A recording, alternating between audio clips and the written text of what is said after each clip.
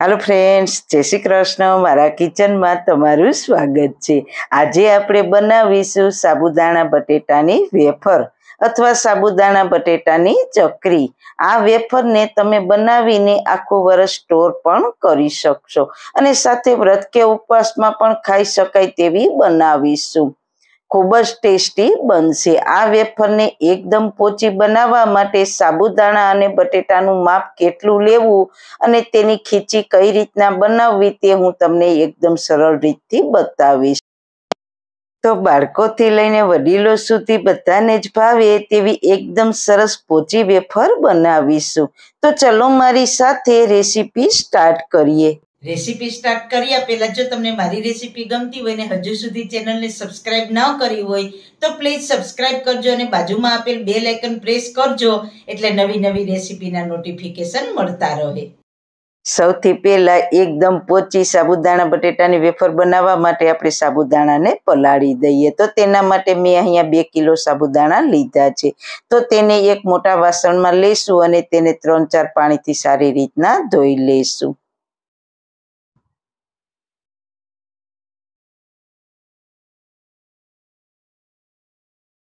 તો સાબુદાણાને ત્રણ ચાર પાણીથી મેં સરસ રીતના ધોઈ લીધા છે. હવે સાબુદાણા ડૂબે તેટલું પાણી નાખીશું. બે કિલો સાબુદાણામાં મેં ચાર લીટર જેટલું પાણી નાખ્યું છે. હવે તેને ઓવરનાઇટ પલાળી દઈશું. જો તમારી પાસે ટાઈમ ના હોય તો સાબુદાણા છ થી સાત કલાકમાં પણ સરસ રીતના પલળી જશે. સાબુદાણાને પાણીમાં સારી રીતના મિક્સ કરી દઈએ. તો તમે જોઈ શકો છો સાબુદાણા પરફેક્ટ પલળી ગયા છે. આ રીતના પ્રેસ કરીએ એટલે સરસ મેશ થઈ જાય છે. હવે સાબુદાણાને બાફી લઈશું. બાફવા માટે મેં અહીંયા એક મોટું વાસણ લીધું છે. કારણ કે મારે બે કિલો સાબુદાણા છે એટલે મોટું જ વાસણ લેવું પડશે. તેમાં બે લીટર જેટલું પાણી ગરમ મૂકીશું.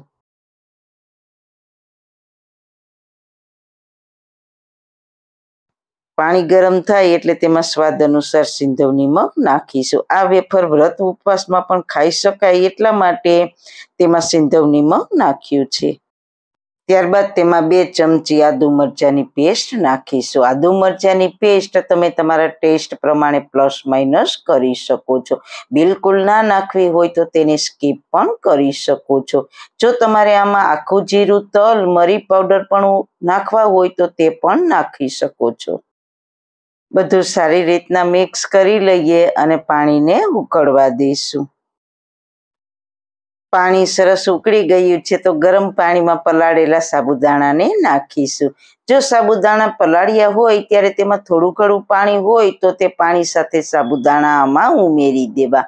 અને ખાસ જો વધારે પડતું પાણી હોય તો પાણી કાઢી લેવું. નહીતર ખીચું ઢીલું થઈ જશે. સાબુદાણાને પાણીમાં સારી રીતના મિક્સ કરી લઈએ. સાબુદાણા એકદમ સરસ ટ્રાન્સફરન્ટ થાય ત્યાં સુધી પકાવીશું અને મીડિયમ ગેસની ફ્લેમ ઉપર આને બાફી લઈશું તેને આ રીતના વચ્ચે વચ્ચે ચલાવતા રહીશું. એટલે ખીચું તળિયે ચોટે નહીં. સાબુદાણા બફાય છે, ત્યાં આપણે ફટાફટ બટેટાને મેશ કરી લઈશું. બટેટાને મેં પહેલાં બાફીને ઠંડા કરી લીધા છે. બે કિલો સાબુદાણાની સામે બે કિલો બટેટા લીધા છે. બટેટાને આપણે મેશરથી મેશ કરીશું તો બટેટાની કણી રહી જશે. એટલે એકદમ સ્મૂથ મેશ કરવા માટે મેં અહીંયા સેવ પાડવાનો સંચો લીધો છે. તો તેમાં આ રીતના ગાંઠિયાની ચકરી ફિટ કરીને તેમાં બટેટાને ભરીશું.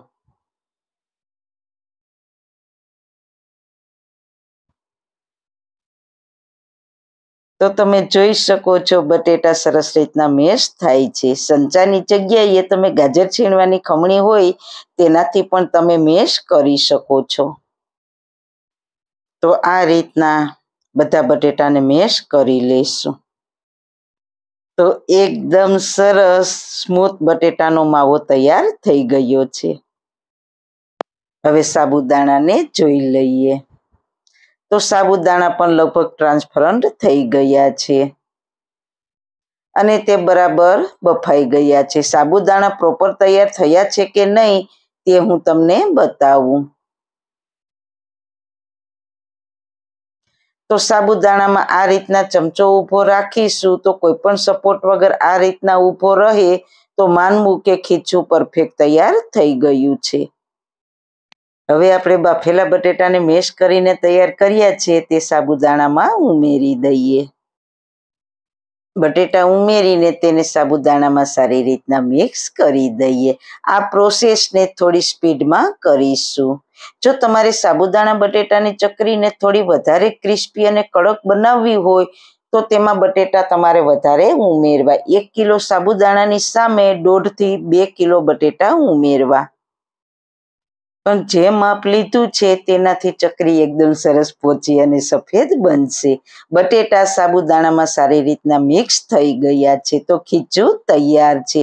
અને બટેટા મિક્સ કરીને પણ ખીચું ચેક કરી શકો છો. તો આ રીતના ચમચો, આ રીતના કોઈ સપોર્ટ વગર ઊભો રાખો અને ઊભો રહી જાય તો ખીચું પરફેક્ટ છે તેમ માનવું. હવે ગેસની ફ્લેમ બંધ કરી દઈશું અને ખીચાને દસથી પંદર મિનિટ માટે થોડું ઠંડુ થવા દઈશું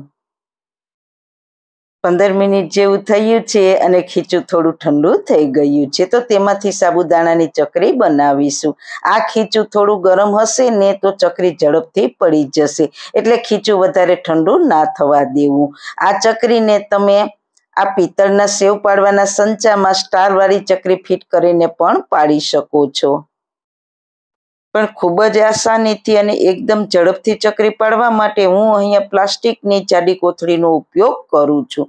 તો મેં કોથળીમાં કટ કરી લીધું છે. તમારે વેફરને જાડી પતલી જેવી કરવી હોય તે રીતના કટ કરવાનું.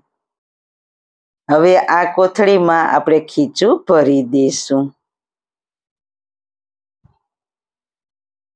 આ સંચા કરતા આ મને વધારે સહેલું લાગે છે. ફટાફટ પડી જશે.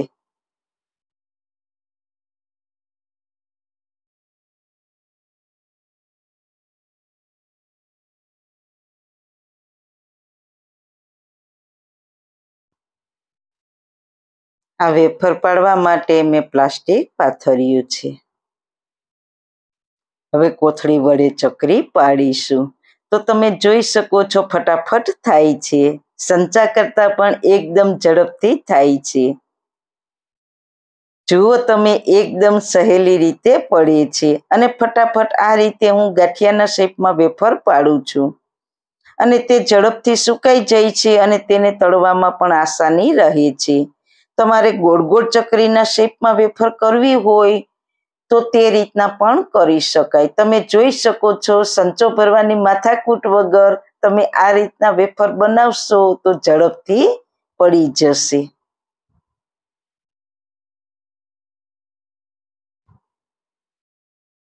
અને આ ખીચું થોડું ગરમ છે એટલે આ વેફરને પાડવામાં ખૂબ જ ઓછો સમય લાગે છે. આ રીતે આપણે બધી જ વેફરને પાડી લઈશું. તો તમે જોઈ શકો છો બધી વેફર સરસ રીતના પડી ગઈ છે. આટલી વેફર પાડવામાં મારે ત્રીસ મિનિટ જેવો સમય લાગ્યો છે. હવે આ વેફરને તડકામાં બે દિવસ સૂકવી દઈશું અથવા વેફર એકદમ સરસ સુકાઈ જાય ત્યાં સુધી સૂકવવાની છે. હવે બે દિવસ પછી તમે જોઈ શકો છો વેફર બહુ જ સરસ સુકાઈ ગઈ છે. આ રીતે વેફરને તોડો તો આસાનીથી વેફર તૂટી જાય છે. તો આપણી વેફર સુકાઈને એકદમ પરફેક્ટ તૈયાર થઈ ગઈ છે. હવે આ વેફરને એરટાઈટ ડબ્બામાં ભરી એક વર્ષ સુધી સ્ટોર કરી શકો છો. હવે આપણે વેફરને તળીશું. વેફરને તળવા માટે મેં પહેલા તેલ ગરમ મૂકી દીધું હતું. તેલ ગરમ થાય એટલે ગરમ તેલમાં વેફરને તળીશું. ગેસની ફ્લેમ મીડિયમ ટુ હાઈ રાખીશું. તો તમે જોઈ શકો છો, આપણી વેફર એકદમ સરસ ફૂલીને સફેદ થઈ છે.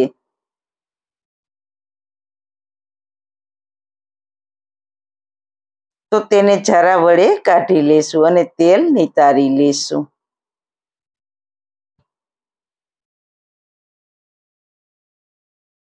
તો જોતા જ ખાવાનું મન થઈ જાય તેવી બની છે ને બાકી?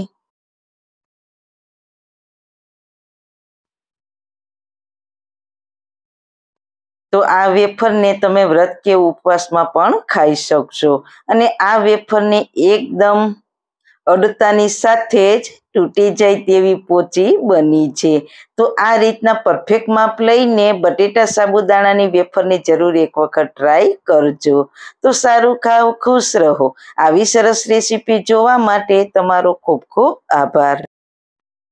મારી રેસીપીને લાઈક કરજો શેર કરજો, મારી ચેનલને સબસ્ક્રાઈબ કરજો. ફરી મળીશું નવી રેસીપી સાથે. જય શ્રી કૃષ્ણ.